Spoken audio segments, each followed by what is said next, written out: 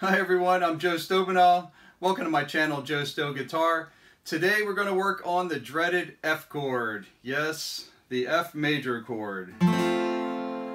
It seems impossible if you're a beginning guitar player, but I'm going to show you some tips that will hopefully help you get a better handle on playing that chord a little bit quicker.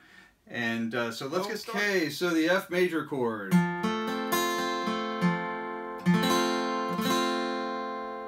So what I'm going to do is I'm going to start with my third finger, my ring finger, and I'm going to put that on the fourth string at the third fret. I'm going to take my second finger and I'm going to put that on the third string at the second fret. And now my first finger is going to have to bar across or cover both the first and the second strings at the first fret. And uh, if you have small hands like me, it's going to be a little bit of a stretch for you. So uh, don't worry about it. You're going to you'll get it uh, in a in a short amount of time. Don't worry about it. But uh, but you're gonna it's going to feel like a little bit of a stretch. Now one of the common problems with this chord is uh, sometimes you're pushing down so much on your uh, the tip of your first finger that the the first string, that high E string, you don't hear. So you have to make sure that your first finger is flattened out enough that you can hear both the first and the second strings. Now, what generally happens when you do that is most people, when they're starting out, if you flatten out your first finger, well, your second and third finger are going to tend to flatten out as well. And that's what you don't want to happen. So even though you're flat, you have to keep your first finger flat on the strings. Um, now notice, uh, here's another little tip. I have my first finger. It's not. I'm not square on the strings with the with my uh, the the bottom of my finger. I'm actually rolled up on the side of my finger a little bit, and that actually helps it to push down the strings a little better because there's less uh, less flesh there, less skin there. So and uh, so it's actually able to I can I can push the string down much easier that way. Now I'm not all the way up on the side, but I'm not all the way um, on the bottom of my finger either. I'm just kind of in right in that in between section. You'll find the spot on your finger where it's comfortable for you.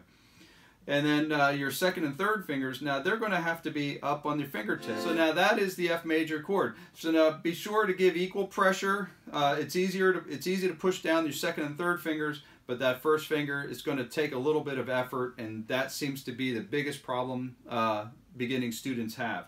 So it's easy, you know, it's pushing enough pressure down on that first uh, first finger. Generally, it sounds like this when somebody makes an F major chord. If that's you, don't worry about it. Just keep trying, okay? Now, uh, side note, because there's a little bit of a stretch involved here, if your hand starts hurting in this area here, um, then just take your hand off, just kind of shake it out a little bit, and come back to it maybe in five, ten minutes, all right? You don't want to get tendonitis. I don't want anybody having any problems with their hands. So it's just going to take a little bit of force. And like the other videos where I told you how to, uh, showed you how to play the uh, chords, um, take your hand off, bring your hand back up, make the chord, and do that multiple times so that you uh, have the learn the muscle memory of that chord shape. Now also, like before, don't forget to check for your dead notes. Make sure there's no make sure there's no dead notes. If there are, figure out why it's doing that and fix it. Generally, for this F major chord, it's usually not enough pressure. And now for strumming it, I'm going to strum it like we would the D major chord, and I'm just going to strum from the fourth string down toward the floor. Okay?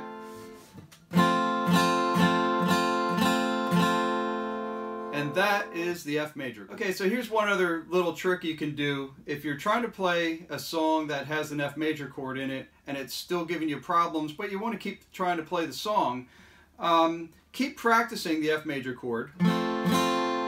But if it just doesn't, you can't get it to work in the song while you're practicing the song, um, try this. What we can do is play an F major 7 chord, which is actually a little bit easier. And what I'm doing there is I'm I have my F just the same fingering as my F major, uh, the F major chord. Yeah, getting tongue tied again. Um, and then, but all I do is I get my first finger up onto the second string at the first fret and let the high E string, the first string, ring open, no fingers. And it sounds like that. So that might be a little bit, a little shortcut for you to play uh, the F major chord. So if you come across an F major chord in a song that you really want to play, you can use this for a while, this F major 7 uh, fingering, until you're able to play the correct F major uh, chord. Okay, so that's the dreaded F major chord. Um, so I hope some of those tips will help you to get a better handle on playing the chord.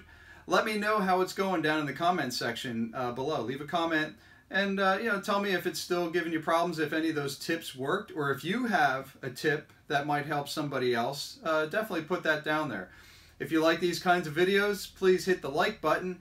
Don't forget to hit that subscribe button, and I'll see you on the next video.